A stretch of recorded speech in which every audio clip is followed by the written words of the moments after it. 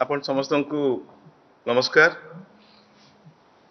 ଆପଣ ଜାଣିଥିବେ ଯେ ଗତ ଏକ ତାରିଖ ଦିନ ମାନ୍ୟବର କେନ୍ଦ୍ରମନ୍ତ୍ରୀ ଶ୍ରୀଯୁକ୍ତ ଧର୍ମେନ୍ଦ୍ର ପ୍ରଧାନଙ୍କ ସହିତ ଆମେ ଚାର ବିଧାୟକ ଏବଂ ଆମ ସହିତ ମଧ୍ୟ ଉମରକୋଟର ମାନନୀୟ ବିଧାୟକ କୋଟିଆ ଏବଂ ଫାଟୁସିନେରୀ ଗସ୍ତ କରିଥିଲୁ। ଉତ୍କଳ ଦିବସ ଅବସରରେ ସ୍ଥାନୀୟ ଜନସାଧାରଣଙ୍କ ସହିତ ଉତ୍କଳ ଦିବସ ମନାଇବା ପାଇଁ ଆମେ ସେଠାରେ ପହଞ୍ଚିଥିଲୁ। ଏବଂ ଆପଣମାନେ ଦେଖିଥିବେ ଯେ ସେଠିକାର ସ୍ଥାନୀୟ ମିଡ଼ିଆ ବନ୍ଧୁଙ୍କର ବାରମ୍ବାର ପ୍ରଭୋକେସନ ସତ୍ତ୍ୱେ ମାନ୍ୟବର କେନ୍ଦ୍ରମନ୍ତ୍ରୀ ଉତ୍କଳ ଦିବସର ପବିତ୍ରତାକୁ ଲକ୍ଷ୍ୟ କରିକି କୌଣସି ମଧ୍ୟ ରାଜନୈତିକ ପ୍ରସଙ୍ଗରେ ଆଲୋଚନା କରିବିନି ଭାଇ ବୋଲି ସ୍ପଷ୍ଟ ଭାବରେ କହିଥିଲେ କିନ୍ତୁ ତା ସତ୍ତ୍ୱେ ଗତ କାଲି ଏବଂ ପବିତ୍ର ଉତ୍କଳ ଦିବସରେ ମଧ୍ୟ ଯେଭଳି ଭାବରେ ବିଜୁ ଜନତା ଦଳର ନେତୃବର୍ଗ ମନ୍ତ୍ରୀଙ୍କର ଗସ୍ତ ବିଷୟରେ ଯେଉଁ ଟିପ୍ପଣୀ ଦେଇଥିଲେ ତାହା ଦୁର୍ଭାଗ୍ୟଜନକ।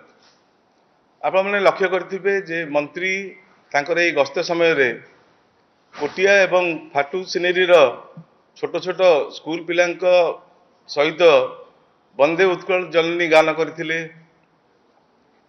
ସେଠାରେ ସ୍ଥାନୀୟ ଲୋକଙ୍କ ସହିତ ଓଡ଼ିଶାର ବରପୁତ୍ରଙ୍କର ବଳିଦାନ ବିଷୟରେ ସ୍ମୃତିଚାରଣ କରିଥିଲେ ଏବଂ ଆନ୍ଧ୍ରର ଅନୁପ୍ରବେଶକାରୀ ଯେଉଁମାନେ ଥିଲେ ସେଠାରେ ସେମାନଙ୍କୁ ବାହାରି ଯିବା ପାଇଁ ଆହ୍ୱାନ କରିଥିଲେ।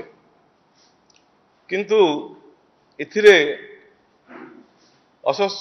ଅସହିଷ୍ଣୁ ହୋଇକି ଯେଉଁଭଳି ଭାବରେ ବକ୍ତବ୍ୟ ରଖିଲେ ବିଜୁ ଜନତା ଦଳର ନେତାମାନେ ତାହା ନିନ୍ଦନୀୟ ତଥା ଦୁର୍ଭାଗ୍ୟଜନକ।